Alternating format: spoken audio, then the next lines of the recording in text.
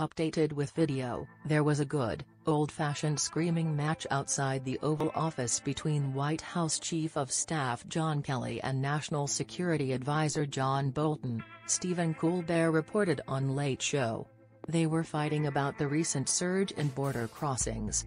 Bolton blamed Secretary Kirstjen Nielsen and said she needed to start doing her job. Kelly, who previously held the job and recommended Nielsen to replace him, took issue with the crack. Profanity was exchanged outside the Oval Office. Good thing they did not do that inside the Oval Office, said a relieved Colbert. That office is intended for the sacred presidential duty of tweeting about porn stars being horse faces.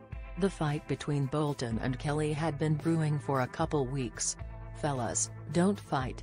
Colbert urged assuring them, you're both terrible.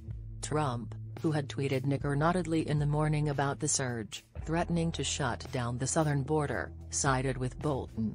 This added to Kelly's fury. After the blowup, aides whispered privately that one of the men might leave the White House, according to reports. What do you think about it? Share your opinion in the comments below the video. And also subscribe to the channel not to miss new, interesting videos.